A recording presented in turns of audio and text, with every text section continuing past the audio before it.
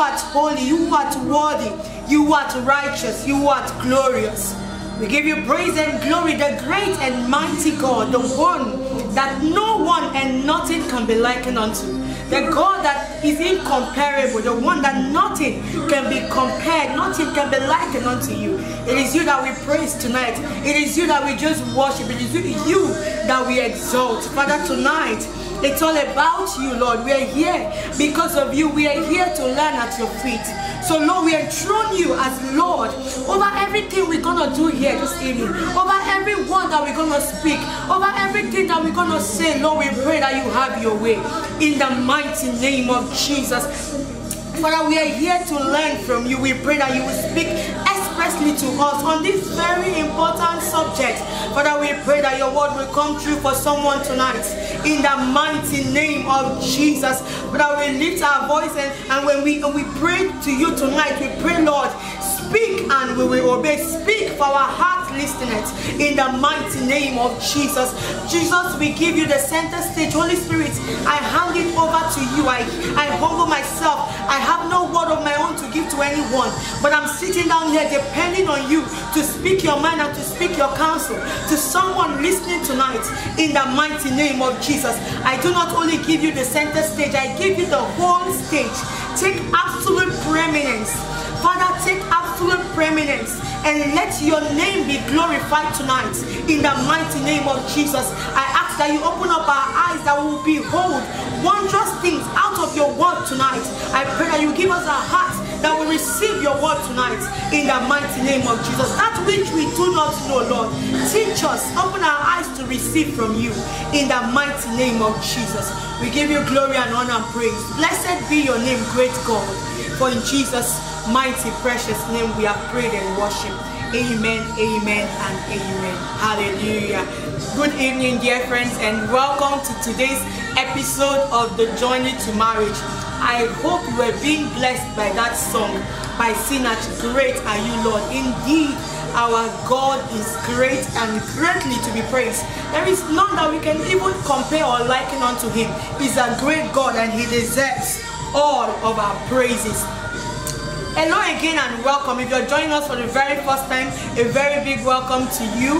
And for the benefit of those people that are just joining us for the first time today, I'd like to say just a few things about the journey to marriage.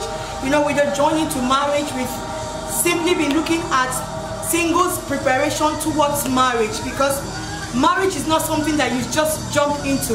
It's something that you prepare into, something that you pray yourself into.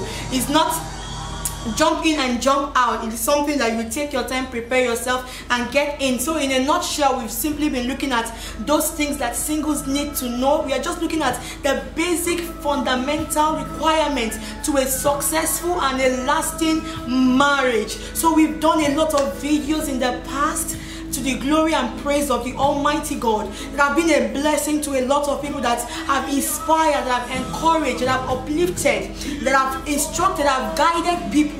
And if you've missed any of those videos, I kindly request you to check on the Facebook page, The Journey to Marriage, on our, on our YouTube page. We also have a YouTube account, Glory to God. The Journey to Marriage. You're going to find all these videos there. Trust me when I tell you, it's going to bless you, it's going to encourage you, it's going to uplift you, it's going to inspire you because I know that God will speak through you through those videos. So get a hold on them and be blessed in the mighty name of Jesus.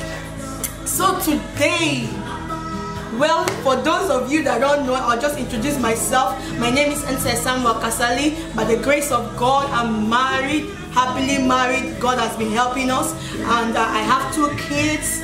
And um, I guess that's all to know about me. Praise the Lord. So today, we're looking at a very important topic. Does God choose who you marry? It's, it's, it's a topic that, you know, it's very important, it's very crucial that we know if God really chooses what who we marry, what role does God play in who we get married to? What role do we play as individual in our choice of who we get married to? Because sometimes you hear people say, I am trusting God to give me a wife or a husband. I am trusting God to tell me who to marry. I'm trusting God to do this or that regarding who I get married to. But we want to look at it from the Word of God and from examples in the Word of God.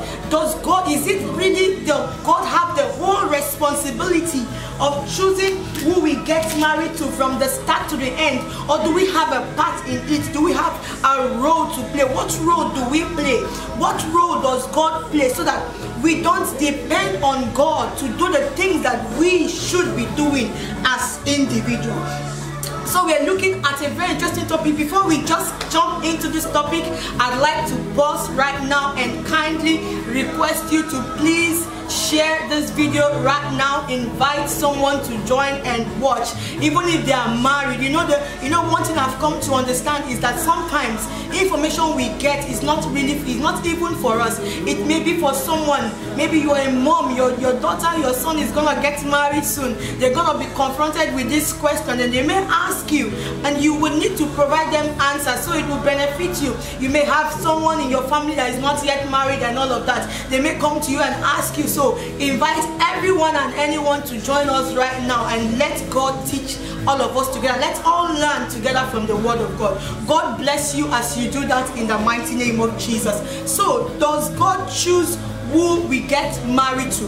Before we jump in, I think that it's important that we just look back at the first marriage ceremony, first, first wedding that ever took place in the history of the world, in the history of the universe, and that's the marriage between Adam and Eve. It's very important that we draw clues from what happened what did god do how did it happen and then we see other examples throughout you know the, the, the truth in the word of god. Many other people that got married how did they do it? And right now how are we supposed to be doing it? So if we quickly have our bibles we can look at genesis 2 we're looking from verse 18 we'll read 18 and then we'll read 21 through 25 i'm just going to take my time to to read this today. So genesis 2 and verse 18 after god has created everything created all the wonderful universe the plants the animals looked at everything and it was so good. God was so pleased with himself that he took a rest.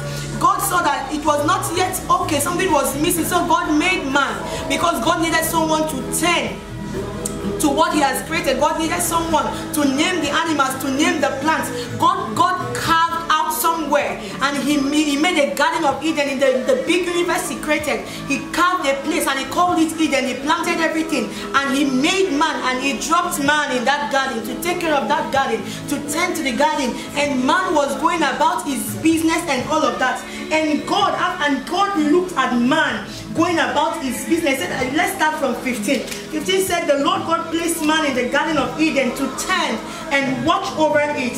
And the Lord warned him, You shall freely eat the fruit of every tree in the garden except the tree of knowledge of good and evil. For if you eat its fruit, you will surely die. I'm reading from New Living Translation. And verse 18, where we are coming to says, Then the Lord God said, It is not good for man to be alone. It was God saying this. God looked at man all alone in the garden and God said, Oh my, it's not good for this man to be alone. Every animal I created, everything came in twos and he's just alone. So God saw that it was not good for him to be alone and God said, I will make him, I will make him a helper that is comparable to him. Because the animals the, the, all of that they were not comparable to him. So god said i will make him a helpmate that is comparable to him. So the lord the lord formed animals and everything from from the earth. And we quickly jump to you know verse 22 and 21 from 21 the bible says that the lord caused man to fall into a deep sleep. While the man slept the lord took out of the man's rib take, took one out of the man's rib and closed up the opening. Then the Lord God made a woman from the rib and he brought her to the man. Please, let's take note of this. He made the woman and he brought her to the man. And when he brought her to the man, what happened? The man exclaimed, Oh, this is the bone of my bones and the flesh of my flesh. She shall be called woman because she was taken from man. So from this account, we see that God made the woman and God brought the woman to the man. You will notice that God didn't tell the man, This is your wife. God didn't, you know, tell him, hey, Adam, I brought you a wife. God just brought her, like paraded her in front of him. And the man looked and said, wow. It was the man talking and not God. He said, wow, this is now bone of my bones and flesh of my flesh. She shall be called woman. So what do we get from this place that we read from this first marriage ceremony? God was interested in the man not being alone. God saw him that he was lonely and all alone. So God took interest in him not being alone and decided to make him some helper, some helpmeet that is comparable to him. God took from him a rib and God made the woman. And after God made the woman, God himself brought the woman, paraded him in front of the man. And when the man saw the woman, it was the man that named her woman. God didn't even give her a name or anything. He just created her. It was the man that named her. It was the man that claimed her. He simply claimed her when he said, she is bone of my bones and flesh of my flesh. And please, let's bear in mind that when God created the, the woman, it made the man to go into a deep sleep. So the man did not know whatever God did. He didn't know that God took me from him or anything of, or anything like that. But when he saw her, something this world when he saw her he just knew that this one is mine this one is bone of my bones and flesh of my flesh you and you also notice that god was silent all through when this was going on notice some things from this what we are what we are learning God made the woman. God was interested in the man not being alone. God made her. God brought her to him. God paraded her in front of him and she just brought a beautiful looking curvy creature and the man went in love and named her and claimed her and all of that. So that was how the first ever marriage, selecting who, picking who to marry, that was how we started in the Garden of Eden. Now we, we, we can ask, so after the Garden of Eden, what happened? Was that the process that was followed was did god keep you know creating and bringing women and parading parading them before men? No that did not really happen. When we go through the bible after the garden of eden we see that so many people got married to who they wanted to get married to except the man Uzziah. Maybe yes that god specifically asked him to marry someone right so what happened was the, from the children of Israel when they started to get married, God did not parade any woman before any man for marriage. What happened was God provided guidelines for how they were going to get married, how the marriage, how the marriage institution is supposed to be. God provided guidelines to the children of Israel by telling them, you will not marry from strange lands or or women from other land. You will marry from within yourself, from within the, the, your, your country, from within the, your nation. So God gave guidelines on, on how and, and how to get married, what exactly you know you should do shouldn't do when you are getting married. God provided guidelines but god never again paraded any woman before a man. He gave them the guideline and of course it was not compulsory or imposed on anyone to follow those guidelines. Because please understand something about god. God does not impose anything on anyone. That is why he gives us free will. Please if you're just joining us we're just talking about does god choose who you marry? Please let's let's just flow and i'm sure that the holy spirit is going to teach us tonight in the name of jesus. So god never paraded any woman before any man or created you know and brought. So god gave guidelines and instructions after that the children of israel. And we can see that it was not compulsory because someone like solomon he went out and married out of the instructions of God and all of that. God does not impose on anyone. He will tell you this is good and it is up to it's your free will to choose whether you want to follow what God is saying or what or what God is not saying. We can also see from Samson. God said they should not marry from the land of the Philistines. But no, Samson in the Bible, he wanted to marry from someone from the land of the Philistines. God did not stop him. God did not send angels to stop him. God used, he got through his parents warned him because that's how God instructs us. He sometimes instructs us in dreams through people, through our parents, through our pastors. God sent instruction. God instructed the parents to try to, you know, obstruct him getting married from going against God's guidelines, but his mind was made up. He also married, and we all know how he ended. And this, we all know how Solomon ended as well. He was a great king. The Bible records so many great things about him, and the Bible also records a lot of evil things about him because of he married a lot of strange women, going out of the guidelines of God to marry strange women. And we know that the Bible recorded that those women took his heart away from God. They made him go after idols and they made him serve idols. And we can also see from Abraham, Abraham, when he wanted to get a wife for his son Isaac, he obeyed, he followed the guidelines of God. He sent his servant to go back to his people to look for a wife for Isaac, and the servant went you know and the servant you know we can also see that the servant seek the help of god. When he went he said god i don't know who i'm going to choose but any woman that is going to give water give me water to drink i'm just going to know that you know just that that is your choice for isaac. And that's exactly when he went. You know god has a way that he guides us when we ask him to. When we follow instruction he doesn't leave us. God brought rebecca. She didn't only give him water she gave water to his flock and he even later found out that she was from the family, you know, of Abraham. So God gave guidelines and instructions on what to do, who to marry, who not to marry.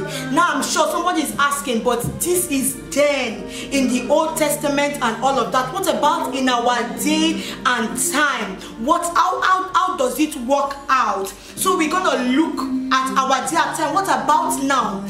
How does it work out? Does god still choose? How, how does it work? So first of all i want to make it very clear that god no longer parades or bring any woman to any man. After made the mistake and adam blamed god and said god is the woman that you gave that made me to do this. That was the end. God didn't do that again. Instead the bible tells us in proverbs 18 verse 22 that he that finds a wife finds a good thing and obtains favor from the Almighty God. That he, that is not God that finds a wife for someone now, but he that finds a wife finds a good thing and obtains favor from the Almighty God.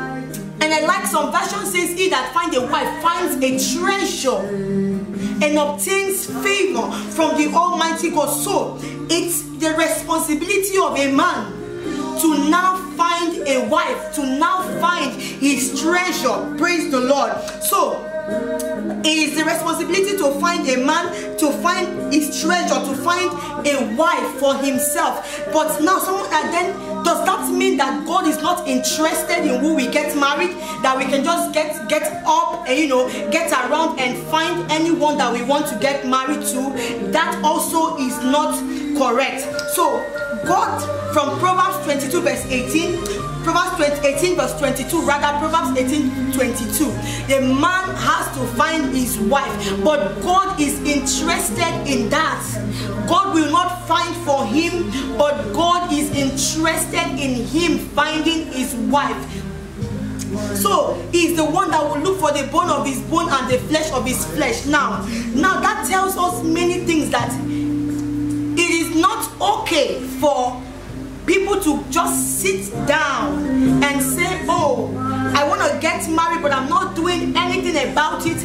I'm not searching for anyone. I'm just sitting down and waiting for God to bring me a wife or a husband. God will allow you to search you have to search you cannot just sit down or you cannot just also a lot of people do this wait for someone maybe their pastor or a prophet to come and tell them and prophesy and make a decree oh you're gonna marry a sister that is tall and fair that is plumpy and all of that. Her name is rebecca. The day you will meet her she's gonna wear a green cloth. She's gonna she's gonna make a twisted braid. She's gonna make all of that. That is not what the bible is telling us. The bible is telling us that the man will have to find his wife the bible is not telling us that the pastor will have to find a wife for him because we have situation where people say my pastor says this is my husband or my wife. Now i cannot say that is wrong or not but i can only speak what the word of god says. The word of god does not authorize any other person to look for a wife for anyone.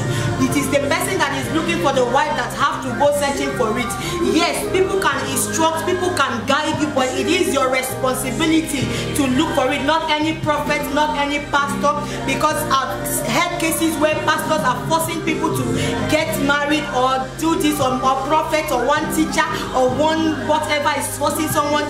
God told me that that person is your husband or your wife. So please, let's get this very correctly. God does not instruct people to come and instruct another person about who they get married to, except God just wants to play his sovereignty, but that is very rare. We've not, you know, seen it in the Bible except in the case of Uzziah, where God asked him to marry someone.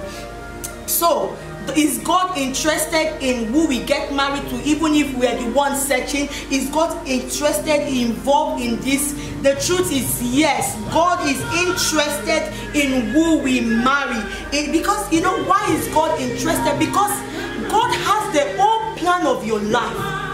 God knows who. God knows what. He has everything planned out for you. You know,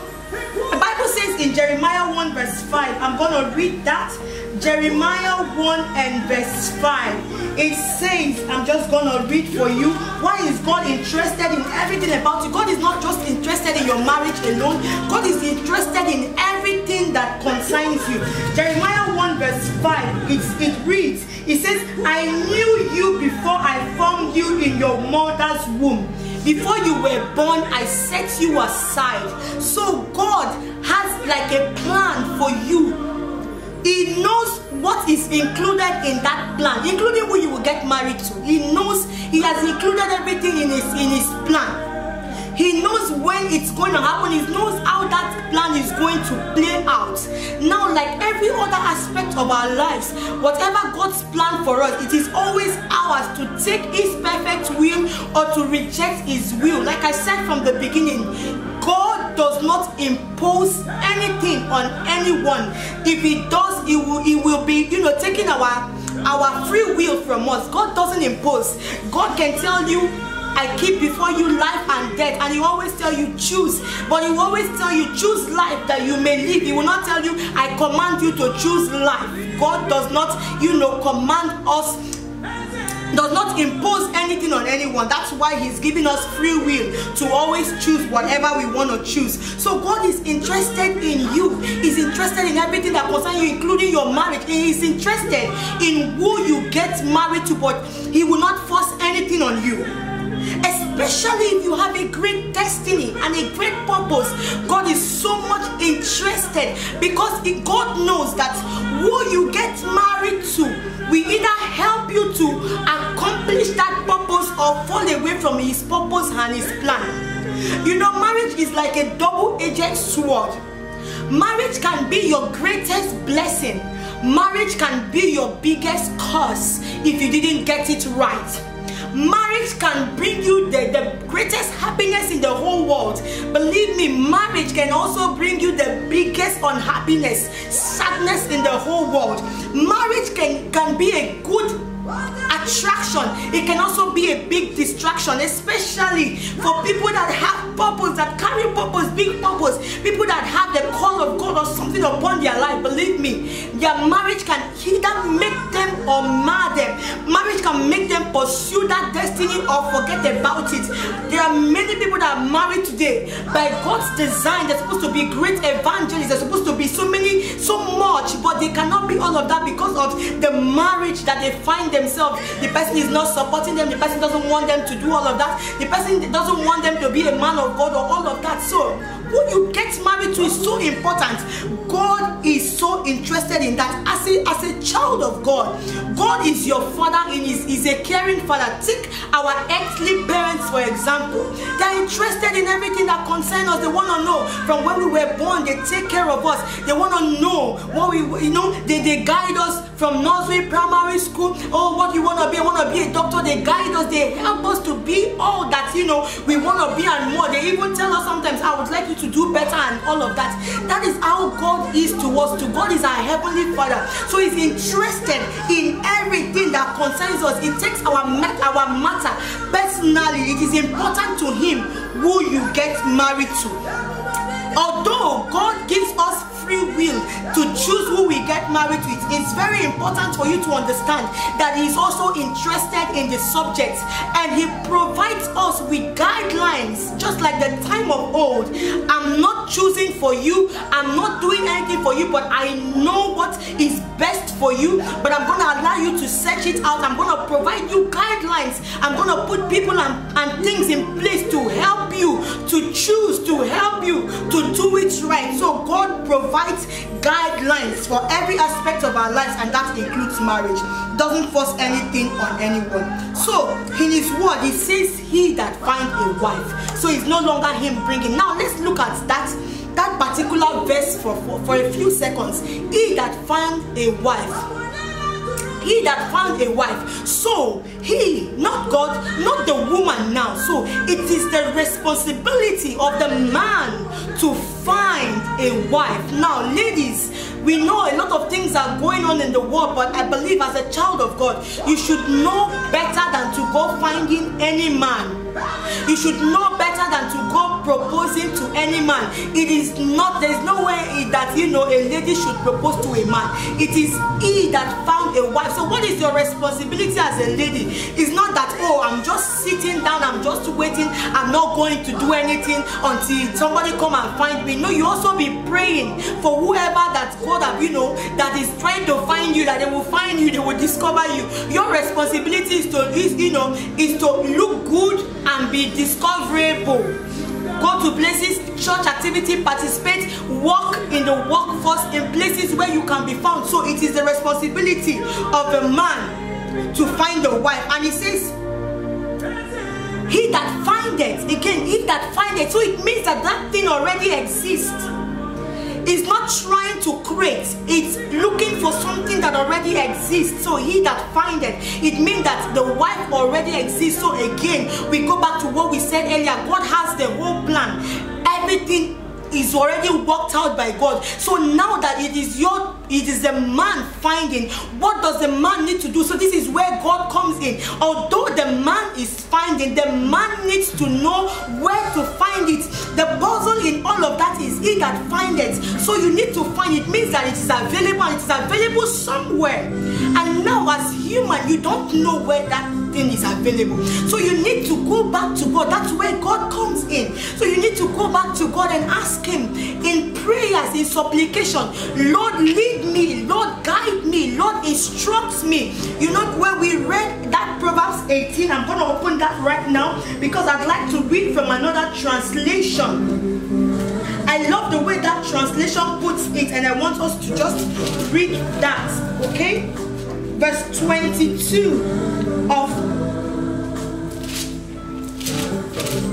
Proverbs 22 and verse 18. The New Living Translation says, Father can give their son an inheritance of houses and wealth, but only the Lord give an understanding wife. So when you start searching for a wife, he that findeth, you should keep this at the back of your mind. It is God that gives an understanding wife. So you need his help. You need his help to be able to find that wife, that woman. He's not finding it for you. But he will help you if you ask him how and where and how to go about finding it. The puzzle is if someone is looking for something, you need to know where to look.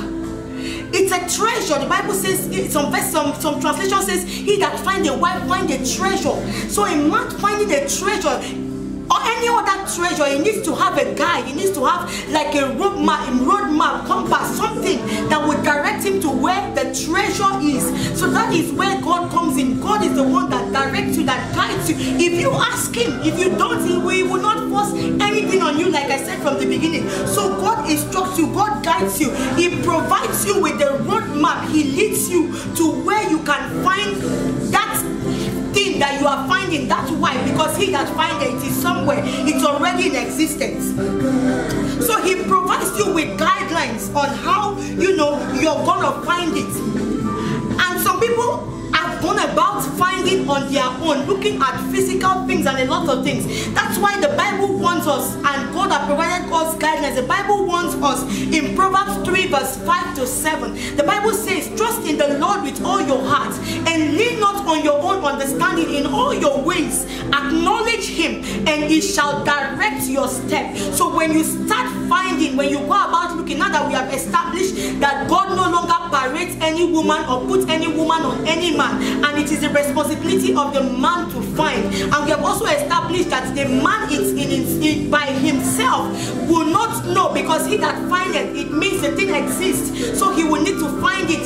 How can you find something that you don't know how it looks like? So you need knows what's best for us. So that's why it is important that although God is not searching for us, we are searching, we need to involve God in it.